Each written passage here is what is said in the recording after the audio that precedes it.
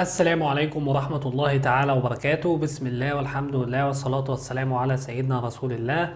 فيديو النهاردة يا جماعة فيديو مهم جدا جدا جدا ويا ريت أي حد بيشاهد الفيديو ده يركز فيه من أول دقيقة لآخر دقيقة لأن الفيديو النهاردة مهم جدا جدا جدا. الفيديو النهاردة بإذن الله لأي شخص آه، أهمته أو أهمه شيء من أمور الدنيا.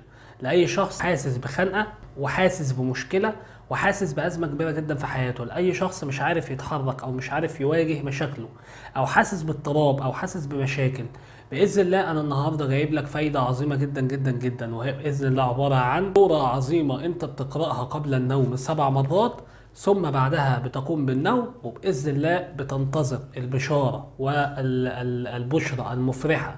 في أثناء نومك وفي الصباح بإذن الله هتجد آه، لو أنت عندك مشكلة أو أزمة بإذن الله هتكون هذه المشكلة قد آه، حلت أو قد آه، نجحت في تجاوز هذه المشكلة وهذه الأزمة. في البداية محتاج أقول لكم إن هذه الفائدة من المجربات القوية جدا جدا جدا واللي جربها أكثر من شخص واللي بإذن الله لو أنت فعلتها هتشوف بإذن الله الثمرات والفوائد.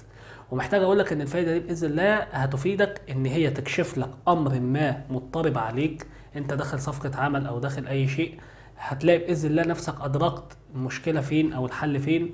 آه من مميزات هذه الفائدة إن أنت لو في أزمة بإذن الله تستطيع إن أنت تخرج منها. آه من مميزات الفائدة دي أيضا إن هي آه بإذن الله الله تعالى يرشدك للصواب بعد أن تفعلها. طب إيه هي الفايده يا عبد الله؟ هبدأ بإذن الله في ذكر السوره بس قبل ما أبدأ في ذكر التفاصيل أتمنى لو أنت جديد في القناة تشترك في القناة ولو أنت معايا قديم في القناة اضغط على زر اللايك وادعي لي في تعليقات بالتوفيق. ويلا بينا يا احبابي نسمي الله ونبدأ في ذكر التفاصيل والفائدة بالكامل بإذن الله. طبعا كل اللي بطلبه منك إن الفايدة دي زي ما قلت لك بتعمل في يوم واحد بس إن أنت بتيجي قبل ما تنام على طول بس لازم بعد ما تعمل الفايده ما تكلمش حد دي نصيحة يعني.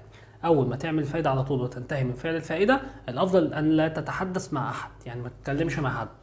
طب بعمل إيه بالظبط يا عبد الله قبل النوم؟ كل اللي بطلب منك إن أنت بتيجي قبل ما تنام على طول وأول حاجة بتعملها بإذن الله هي إن أنت بإذن الله بتقوم بقراءة سورة الليل سبع مرات، بعدها بتقرأ سورة الشمس سبع مرات، بعدها بتقول الدعاء ده سبع مرات والدعاء هو اللهم اجعل لي فرجا ومخرجا من أمري، الدعاء ده تقوله سبع مرات بعدها سورة ياسين مرة واحدة بس. ثم بعدها تقوم بالنوم مباشرة. يبقى اذا عشان ما تهوش مني سورة الليل سبع مرات، سورة الشمس سبع مرات، آه اللهم اجعل لي فرجا ومخرجا من أمري سبع مرات.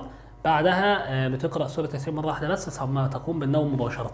بإذن الله لو فعلت هذا الأمر هترى البشارة وهترى البشرى المفرحة. أثناء نومك وباذن الله في الصباح هتجد المشكلة اللي انت نويت تعمل فايدة عشانها اتحلت إن شاء الله. فدي كانت فايدة كده. حبيت أخبر بيها أحبابي للناس اللي بتواجه مشاكل الناس اللي مش عارفة تتجاوز مشاكلها فعليك بتطبيق هذه الفائده فبس كده يا حبايبي يكون الفيديو خلص. أتمنى تكونوا استفدتوا منه. والسلام عليكم ورحمة الله تعالى وبركاته.